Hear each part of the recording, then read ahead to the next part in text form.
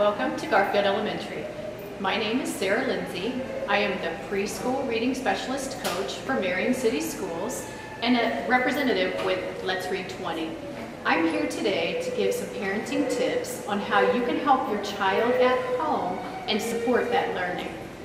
Marion City Schools and Let's Read 20 have had the initiative of getting every child engaged in books, either being read to or reading on their own for at least 20 minutes each day. Today I'm going to also show you some tips and ways you can help support this by, handle it, by book handling skills and doing some letter work. Let's go meet my preschool friend, Isabella.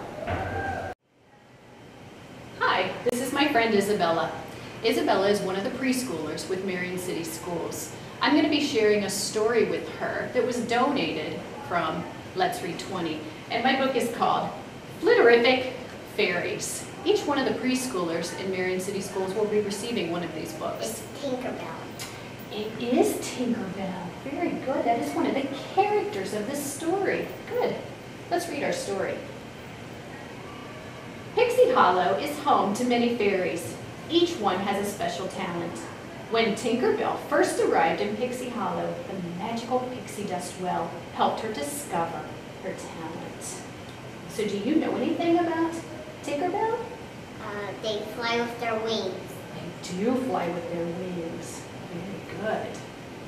Tinkerbell is a tinker fairy. She loves to tinker with spare parts, fix things that are broken, and invent new gadgets using lost things. Do you know what gadgets are? Uh, she fixes them. She fixes things. Say gadgets.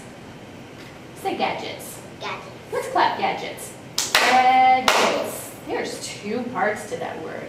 Very good. Where are the words on this page? Uh, Good job.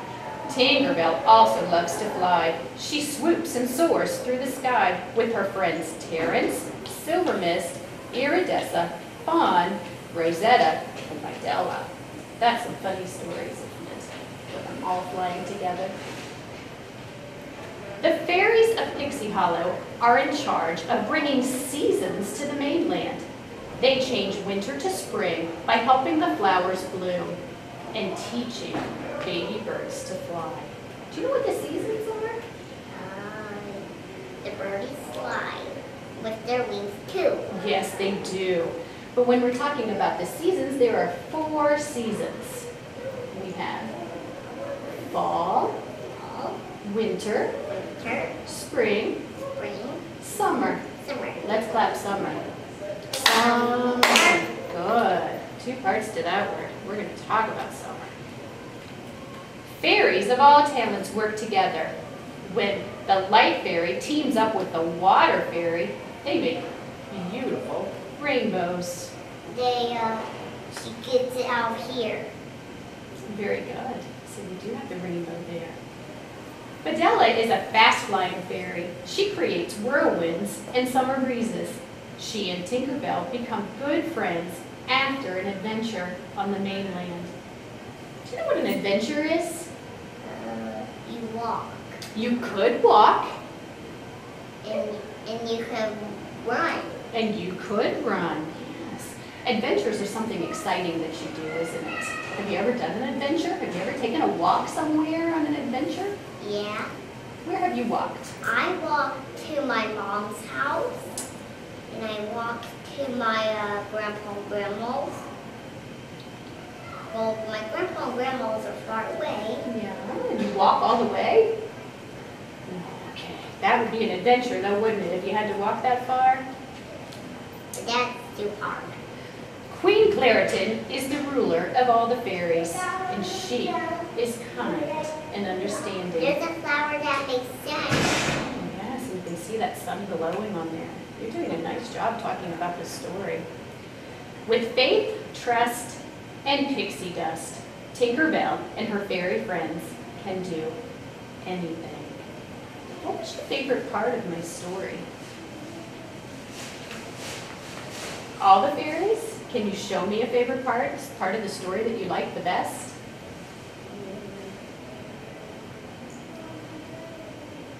You know, with the fairies flying. Why do you like the part about the, the fairies flying? Uh, with their wings. You like their wings? Good. Very good. If I were to hand you this book, Isabella, could you show me where the front of our story is? Uh, Where's the front of the book? I put it right here. Very good. Nice job. And there's my title.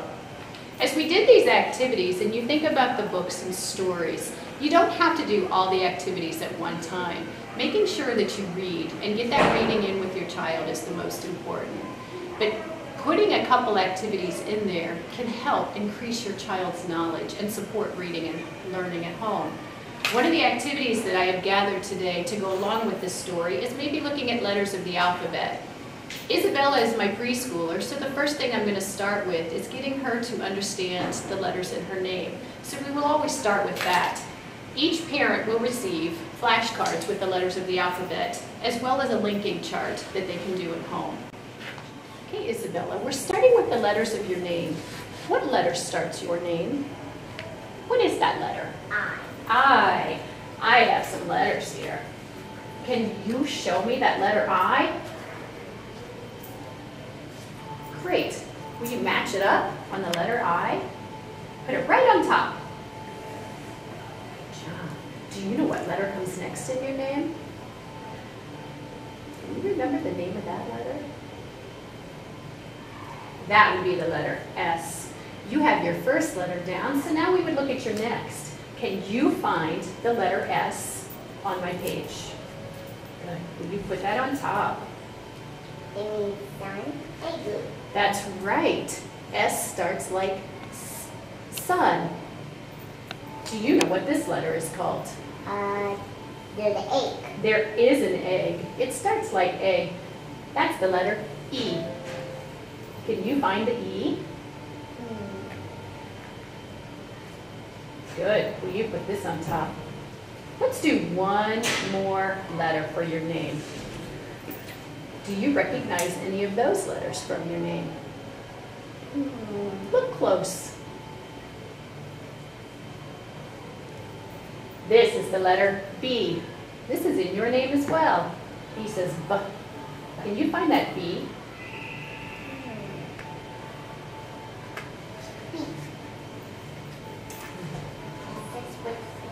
It does. It starts in that word fair. Nice job, Isabella.